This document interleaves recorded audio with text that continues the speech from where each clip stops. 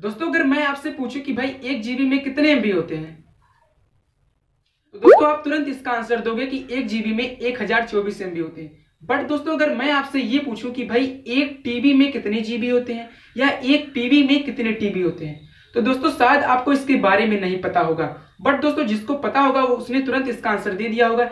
अब दोस्तों, बात करते हैं कि जब दोस्तों, मैंने आपसे पहले ये पूछा कि एक जीबी में कितने एमबी होते हैं तो दोस्तों आपने तुरंत इसका आंसर दे दिया। दोस्तों आपने इसका आंसर क्यों दे दिया? क्योंकि दोस्तों आप अपने डेली लाइफ में दोस्तों मिनिमम तो दोस्तों एक जीबी तो पर डे यूज़ ही करते होंगे। जो मेरा वीडियो देख रहे हैं, वो दोस्तों एक जीबी तो पर डे यूज़ ही करते हैं, जैसा कि दोस्तों मैं भी यूज़ करता हूँ। अब दोस्तों, जब मैंने आपसे ये पूछा कि एक टीबी में कितनी जीबी होती है या एक पीबी में कितने टीबी होते हैं तो दोस्तों आपने इसका आंसर नहीं दे पाया, क्योंकि दोस्तों आप इतना दोस्तों अपने डेली लाइफ में यूज़ ही नहीं करते हैं। बट दोस्तों यूज़ करना ना करना है दोस्तों अलग की बात है बट दोस्तों जानकारी रखना ये दोस्तों सबसे इंपॉर्टेंट की बात है।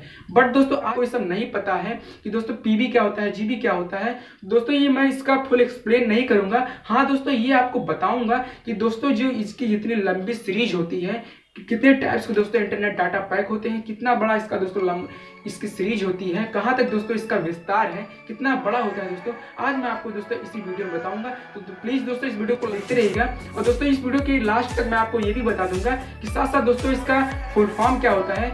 बाकी दोस्तों अगर आपसे कोई पूछ ही लेता है कि भाई जरा आप जो इंटरनेट डाटा यूज़ करते हैं इसका दोस्तों मुझे आप कुछ चीज़ें बता दीजिए इसका फुल फॉर्म बता दीजिए। कि एक जीबी में कितने एमबी होते हैं, एक एमबी में कितने केबी होते हैं तो फटाक से दोस्तों इस वीडियो को आप इंटर देते रहिएगा। अगर दोस्तों आपसे कोई पूछे तो फटाक से आप इसका आंसर दे दीजिए। हेलो गाइस मेरा नाम है दुबे और स्वागत है आपका मेरे यूट्यूब चैनल पर। तो दोस्तों, इस वीडियो से अगर दोस्तों आपको थोड़ा सा दोस्तों अगर नॉलेज हो जाए तो प्लीज़ दोस्तों इस वीडियो को लाइक कर दीजिएगा शेयर कर दीजिएगा और चैनल को ज़रूर सब्सक्राइब कर लीजिएगा दोस्तों, क्योंकि मैं आप सबके लिए ऐसे इंटरेस्टिंग वीडियोस लेकर आता रहता हूँ। तो दोस्तों मेरा ब्लॉग वाला चैनल है दोस्तों, उसका लिंक आपको नीचे डिस्क्रिप्शन में मिल जाएगा और दोस्तों, मुझे आप इंस्टाग्राम और ट्विटर पर भी फॉलो कर सकते हैं दोस्तों, उसका लिंक आपको नीचे डिस्क्रिप्शन में मिल जाएगा।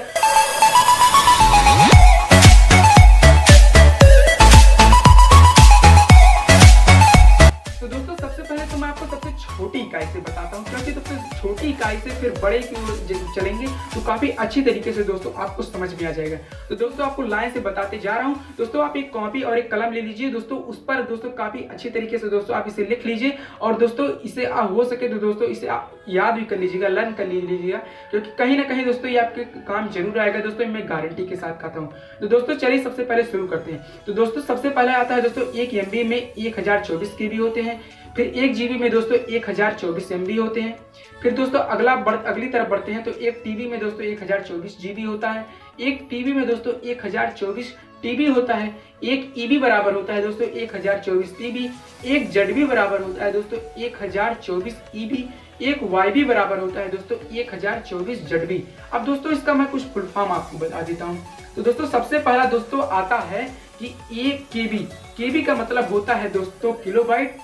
उसके बाद दोस्तों एम का फुल फुल फॉर्म होता है दोस्तों मेगाबाइट और जीबी का फुल फॉर्म होता है दोस्तों गीगाबाइट टीबी का फुल फॉर्म होता है दोस्तों टेराबाइट पीबी का पेटाबाइट ईबी का एक्साबाइट जेडबी का जेटाबाइट वाईबी का योटाबाइट दोस्तों, यही था सारा प्रोसेस सही यही थी दोस्तों इस इंटरनेट डाटा की दो दोस्तों इतनी बड़ी लंबी सीरीज़ होती है। और दोस्तों, मेरा आपसे एक क्वेश्चन है कि दोस्तों, आप अपने डेली लाइफ में दोस्तों, कितना दोस्तों इंटरनेट डाटा पैक का यूज़ करते हो? कमेंट करके दोस्तों मुझे आप ज़रूर बताइएगा।